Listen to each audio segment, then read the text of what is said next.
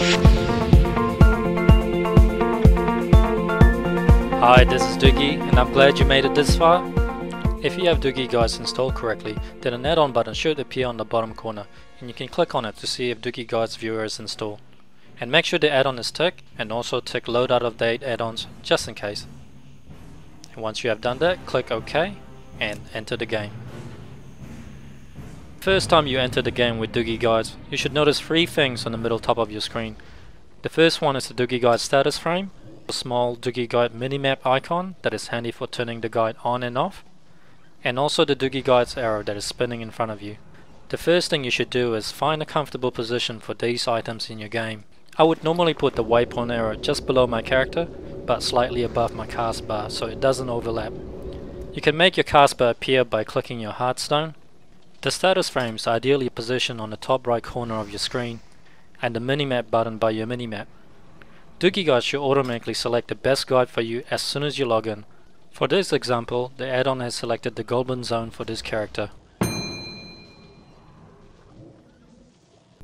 If you load a higher level character, it should also select the best guide for your level. If for some weird reason that the guide is not selected for you when you logged in, it should say no guides loaded. Simply right click on the status frame and select the leveling tab and click the suggest button and that's it. Selecting your guide manually is also easy. Simply open the large frame and use the icon tab on the right hand side and you can easily switch to different guides for leveling, dungeon, dailies, advanced achievements and professions. And selecting a guide from the selection menu will switch your current guide.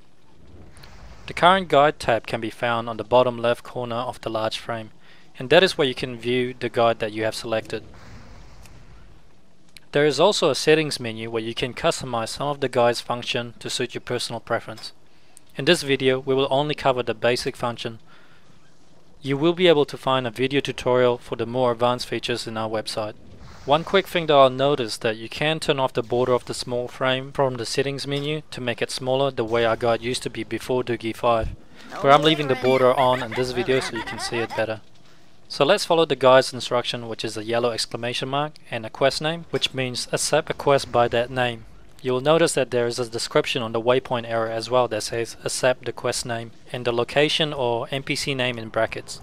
The guide automatically progresses to the next step and update the arrow.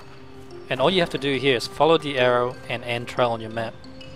Now the guide is telling me to turn in a quest. Makes sense and accept two new quests. And I'll accept the second quest. Now it has a cog icon and a quest name on the small frame, which mean complete that quest. If you ever get confused what each icon mean, you can find all the icon references by right clicking on your status frame and clicking on the help tab. Now that we have done a few steps in the guide and we'll check the current guide, you'll notice that some of the steps has already been ticked. You can see here that the next two steps are complete step or cog icon. Dugi Guide Auto Quest Watch feature will take over the quest watch for you to display only the important quests that you should complete right now. As you can see here, when the guide reaches a quest complete step, it will automatically display the two quests in your objective tracker. This will make it easier for you to track your quests. Even if you have dozens of quests in your quest log, Dugi Guides will automatically arrange the correct quests for you to watch. So the current step for us now is to complete the quest, which is Trouble in the Mines. You can always check the tooltip in the small frame as well for additional hints on what to do. I'm going to skip ahead and complete these two quests. Again, Dugi Guide should detect your progress and tell you what to do next. The current step is a new one, which is to use your Hearthstone. Notice that a new button will appear to use your Hearthstone, and you can click on it directly so you don't have to search for your bags.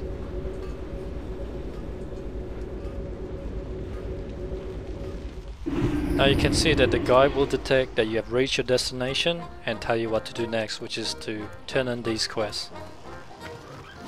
There will be some step, such as the as you go step to, to make sure that you take note of our hints and just tick the step on the small tick box manually to go to the next step.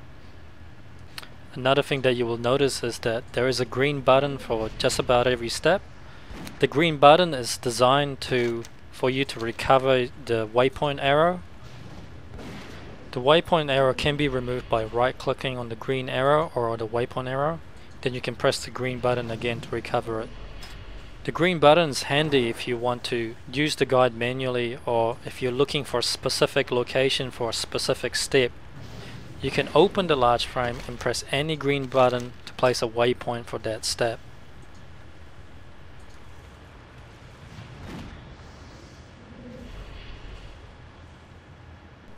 One more thing that you should note is that if you ever want to skip a step, you should mark it with a red X. You can do this by ticking twice on the box. Doing this will automatically skip all the steps related to that quest, including follow-up quest chains. But I don't recommend you do this for any of the Cataclysm zone, but it is generally safe for you to do this in the Outland and Northrend zone. If you wish to skip ahead of the guide, I recommend you use the guide suggest button. And one more thing you should know in this getting started video is the reset and reload button. You can find the reset and reload button in the current guide step if you ever get out of sync with the guide, the reset and reload button is the best way to get back on track. The guide will only reload the step that you have genuinely completed. All the steps that you have ticked manually will not be recovered when you click reset and reload. Okay, I hope this tutorial explained to you the basic use of Dugi guides and help you get started. Be sure to watch our advanced tutorial to take advantage of the advanced features of our add-on. This is Dugi and thank you for watching.